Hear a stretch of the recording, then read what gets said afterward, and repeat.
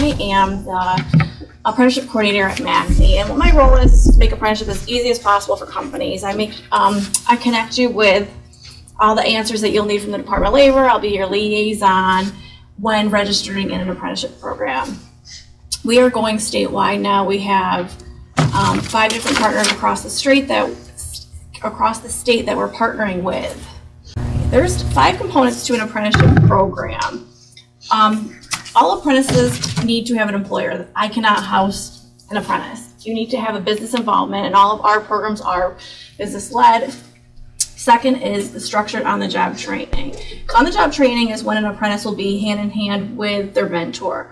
That's to provide the on job training and the appropriate um, competencies that are needed in your apprenticeship program. The related instruction is another component of it, and it's 144 hours of related technical instruction you get a year. Um, some of that training can be brought in from different vendors. I look for BOCES classes that would be um, suitable for your needs. I look for community classes. There's a lot of funding associated with that as well that I can partner you with. Um, there's always going to be a wage progression when you have an apprenticeship program, and at the end, you'll have a, a state recognized credential. And why a registered apprenticeship program?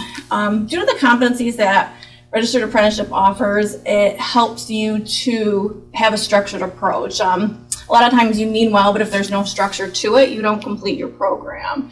So that's one thing that we found out with the apprenticeship that it really does help to follow through with what you say you're going to be doing with your training programs.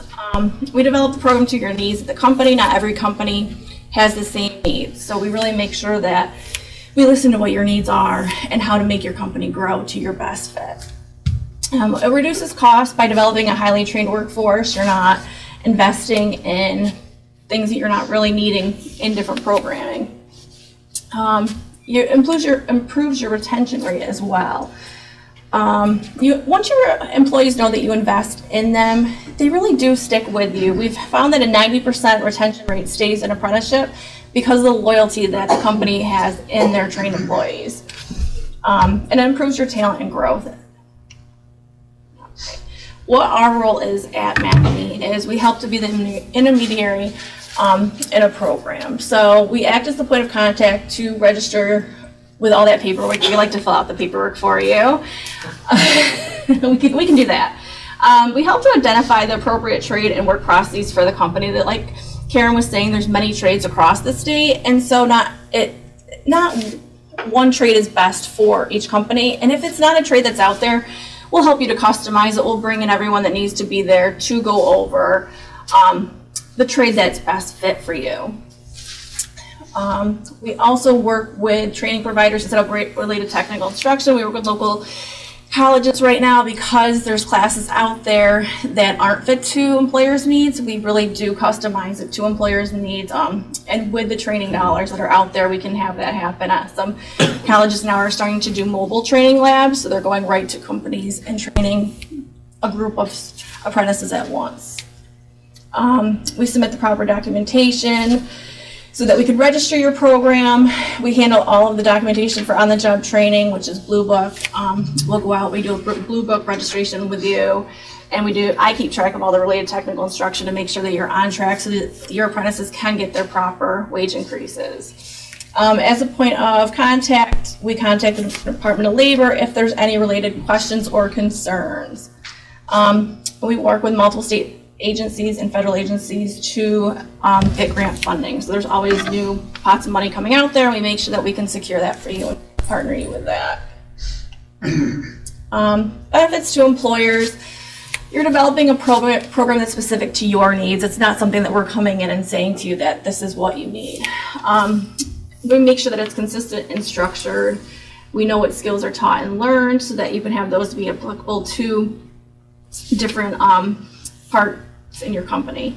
Um, and the hands and skills on application is sometimes best learned through um, having that on the job learning.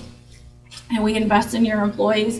It improves your talent recruitment, it improves your retention rates, it reduces costs, develops a highly trained workforce. You're not going to have as much um, waste, and improves your sales with um, reducing the quality, shorter lead times, and increasing customer satisfaction.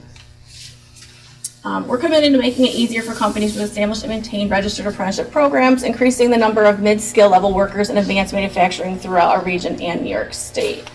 These are all our partners that we have, and these are the trades that we sponsor right now. We're um, coming to the end of our probation period, so we're looking to add additional trades and help companies um, get connected with those trades. Um, we right now have partnered with Council of Industry in the Hudson Valley. We have RTME in Rochester, um, MAST in the Southern Tier, and also there is CEG on there, which is in the Albany region.